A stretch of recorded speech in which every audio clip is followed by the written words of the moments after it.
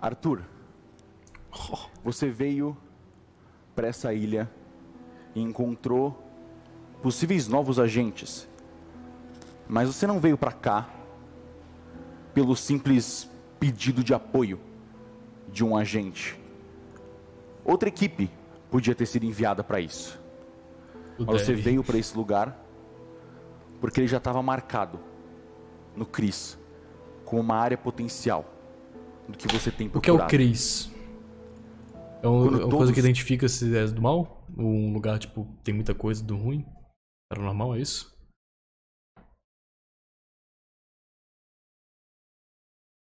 Sim. Isso, isso. Faz isso, isso mesmo, isso. Identificar lugares com membrana frágil. Entendi, entendi, entendi. É uma, um dispositivo, alguma coisa para identificar um lugar com membrana frágil. Ok. Já foram retirados da ilha em segurança um com uma área potencial do que você tem procurado. Quando todos já foram retirados da ilha em segurança, você e Walter seguem a varredura do local. Alguns dos corpos na igreja já tinham começado a se erguer como zumbis de sangue, e vocês terminaram o serviço. Mas o verdadeiro foco estava na mansão misteriosa. Vocês passam por esses corredores abandonados. Agora, mais uma vez, você encontra inúmeros quadros pendurados nas paredes, e uma grande quantidade deles parece derretido mas um quadro derretido específico num canto parece chamar sua atenção. Ele, na verdade, é uma porta que levava a uma escada para o terceiro andar da mansão. Você começa a andar por esse corredor escuro com quadros derretidos. E você termina de vasculhar o ambiente cuidadosamente. Você encontra uma cena macabra: dois cadáveres sentados em frente a um quadro. Tá, isso foi. Uma pintura de uma família que foi tá. distorcida e derretida. A gente entrou nessa sala. Pode abrir um mapa aqui na produção. A gente entrou nessa sala, só que a gente não foi. A gente não. Mas a gente não rodou, tipo, percepção pra ver se tinha algum ponto de interesse? Ou a gente só, tipo, foi embora? Os avós, né? Essa cena bizarra te dá calafrios. Mas o Walter logo já chama sua atenção. Você falou que dava? Entendi. Eu acho que a gente ficou assustado com o que aconteceu, né? Porque foi esse momento que a Bárbara quase enlouqueceu, então. Ele encontrou o que parece ser um diário desse casal, numa mesa ao lado, próximo do corpo deles. Esse diário aqui. Você pode ler em voz alta. Você talvez não entenda muitas coisas, mas você pode ler que tem coisas importantes nele. O diário está aqui na direita, produção. Tá, então eu pego do, do Walter. Isso. Ele, ó. É, eu achei. Isso aqui parece interessante. Tá. Posso ler? Pode. A cada dia fica mais difícil sair desse terceiro andar. Mesmo sem estar observando as pinturas sozinhos, ficar ao redor delas é agradável. Não é necessário estar sozinho, basta estar conectado. Basta ter o mesmo sentimento. No fim, todo mundo é um só. Não existe nada igual a esse sentimento. Mas ele é páreo. Mas ele. É páreo. Ele mas parece. Ele é ah, mas, não, mas ele parece. Isso. Mas ele parece estar ficando cada vez mais fraco. De deixa, eu, deixa eu tirar minha. Vou colocar aqui. Ele disse que tudo que aconteceu nesse pós era pra vocês. É, então, ele falou, isso, ele falou isso pra gente depois. Ele falou isso pra gente depois. Que a, gente, a gente era pra ter ido nesse lugar, só que a gente não foi. A gente não foi. Com o passar do tempo. Como se algo estivesse ameaçando bloquear os sentimentos. O sino parece tão distante. Depois que Lívia foi embora da ilha, eu quase não, não vejo motivo para sair desse, desse andar. Honestamente, não tenho mais ânimo nem de ir no, ao vilarejo para dar aula. Apenas, uh, apenas saía para buscar comida quando está, quando está acabando. O senhor Constantino falava de um segredo antigo da ilha. O motivo que o. O quê? O, o trazia? Ah, o trouxe. o trouxe até aqui. O quê? O segredo Trazia? que permitia abandonar essa forma e aceitar a arte como a própria realidade. Constantino disse que ia deixar um presente e que nós deveríamos fazer a transição em breve, se quiséssemos o seguir. Ele mencionava coisas como barreira, a barreira está está se levantando e a porta está está fechando e que logo isso não seria mais possível. Que logo isso não seria mais possível. Nós não temos certeza do que fazer agora. Teria. Tá escuro aqui.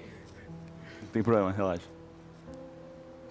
Seria, seria ou teria? Seria. Seria. Seria tão bom poder olhar nos olhinhos da Lívia uma vez, mas sinto que éramos, sinto que erramos ao tentar protegê-las. Ah, protegê-la demais, é isso? Isso. Nossa, tá foda. Sinto que sinto que erramos ao tentar protegê-la demais dos efeitos que nos consomem nesse andar todos os dias. Mas pelo menos ela poderá ter uma vista li- livre. Uma vida linda. ah, não, uma vida livre, desculpa. Uma vida Uma livre. vida livre. Livre? Isso. Uma vida livre dessa necessidade constante de estar ao redor. A coceira, Tadinho, tadinho. a busca pela euforia, mais uma vez. A vontade de escutar o sino. O senhor Constantino disse que não éramos, não íamos, Íamos. não íamos precisar mais descer para pegar a tinta. Então, decidimos tampar a escada da lareira para que ninguém mais encontre o segredo. Estamos ansiosos para receber o presente. Ah, mano, isso na lareira, cara.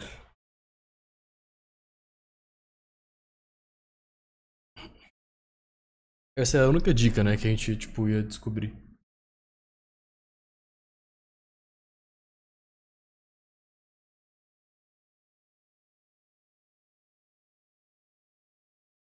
Ah, mano, olha lá. Tampar a escada da lareira. Não, é tipo assim, a gente passou pela lareira, eu acho. Né? Deve ter passado em algum lugar, não lembro. Mas aqui a gente não sabia Você disso. lembra de ter visto uma grande lareira decorada no primeiro andar da mansão? Ah, então a gente viu. Mas você não tinha dado muita atenção a princípio. Você desce até lá? Isso.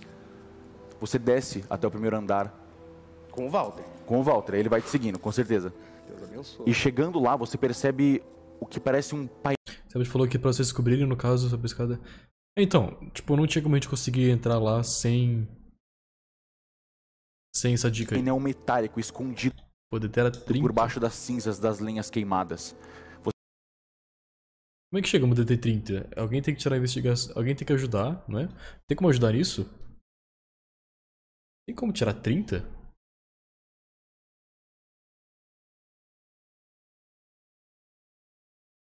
É, que tipo, eu tenho investigação, por exemplo.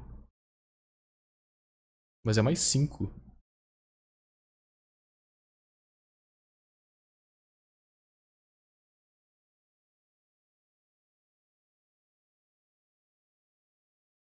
Tá. Você consegue puxar e revela uma escada vertical para algum lugar escondido embaixo da mansão.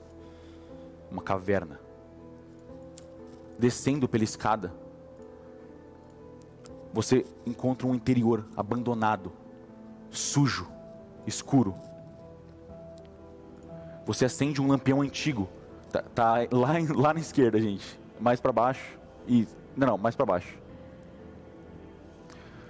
Você acende um lampião escuro, antigo, jogado ao canto.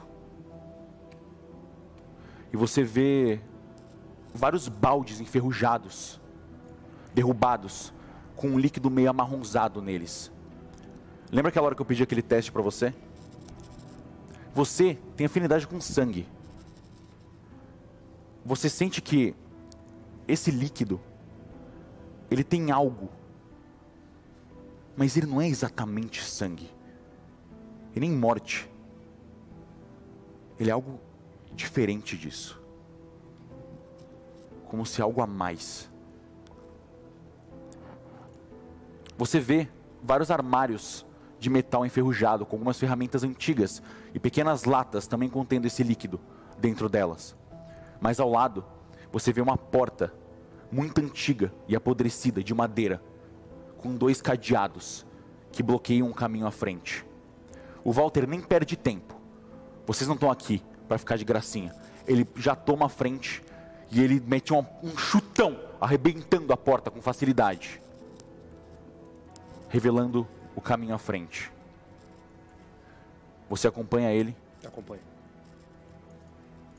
e atrás dessa porta você sente um calafrio. Você vê um enorme salão, imponente, com três grandes pilares inclinados de forma estranha, com o desenho de uma torre com um sino no topo encravado em cada um dos pilares. Além deles, três estátuas posicionadas de maneira muito peculiar em relação aos pilares retratam seres encapuzados, observando o centro da sala, que tem um enorme buraco. Dentro dessa vala tem algo ainda mais bizarro. O que parece ser uma estrutura de metal preto, circular, com formas geométricas, feitas de um material mais dourado decorando a parte externa. Essa coisa é enorme e está completamente suja e abandonada. Tem pedaços menores desse objeto espalhados pela sala, especialmente na frente de um grande arco de pedra na parede, contendo um símbolo triangular, acompanhado de outros quatro círculos dentro de um círculo maior. Você reconhece esse símbolo. É o símbolo de Tenebres. Do outro lado do salão, algo chama sua atenção. O que parece ser uma pintura, uma tela escorada contra a parede. Tá, eu vou lá então. Você vai até a pintura? Sim. Você vai se aproximando dessa pintura e olhar para esse quadro faz você sentir algo. Você se sente chamado. Você escuta o chamado. Na distância, você escuta um sino. Ele fica cada vez mais alto. Tudo parece derreter ao seu redor. O sino está cada vez mais alto.